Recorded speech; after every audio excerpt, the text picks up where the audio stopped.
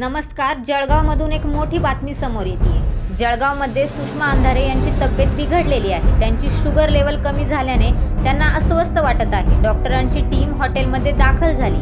ही माहिती स्वतः सुषमा अंधारे यांनी सांगितली आहे. सुषमा अंधारे यांनी जाहीर केलं होतं की ज्या ठिकाणी सभेची परवानगी नाकारली गेली आहे तिथे त्या जाऊ शकत नसल्याने त्या ऑनलाईन सभा घेणार होत्या. शून्य टाईप करू. सक्सेस करा. घंटीच्या बटनावर टिक करा लाईक करा आणि शेअर करा.